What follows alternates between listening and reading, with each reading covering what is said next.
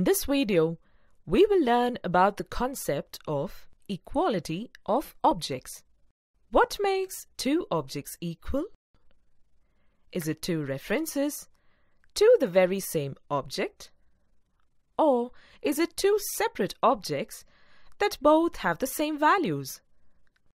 Let us understand reference equality versus object equality. Reference equality means two references, one object on the heap, whereas object equality means two references, two objects on the heap, but the objects are considered meaningfully equivalent.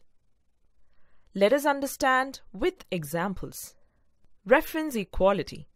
Consider a book object and two reference variables b1 and b2 that refer to the same object on the heap.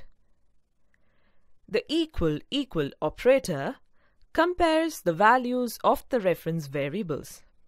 If both references point to the same object, the values will be same.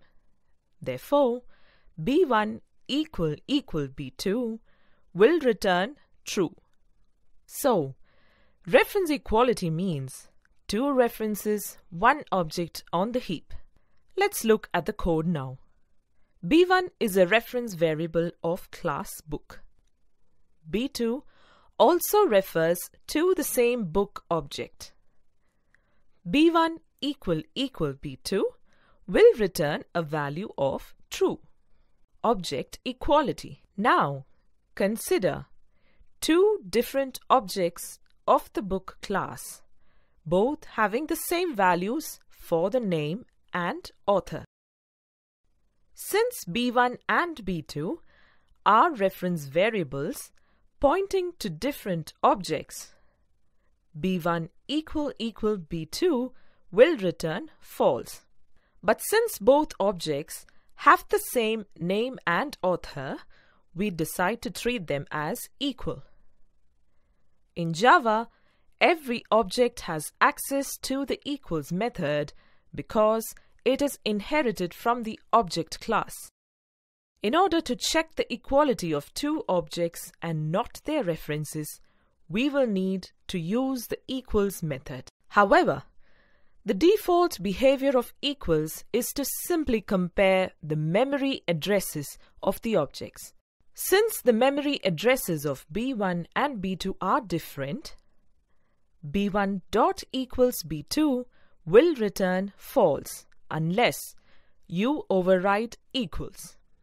So, object equality means two references, two objects on the heap but the objects are considered meaningfully equivalent.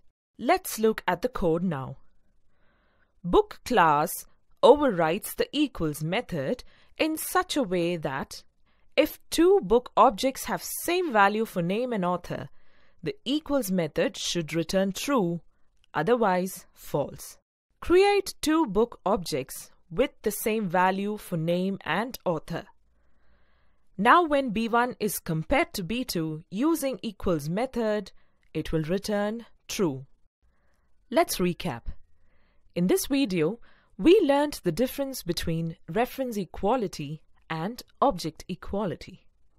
We saw that reference equality means two references, one object on the heap. Reference equality is determined using the equal equal operator. We also saw that object equality means two references, two objects on the heap, but the objects are considered meaningfully equivalent. Object equality is determined using the equals method. Since default behavior of equals method in object class compares memory addresses, equals method should be overridden in every class.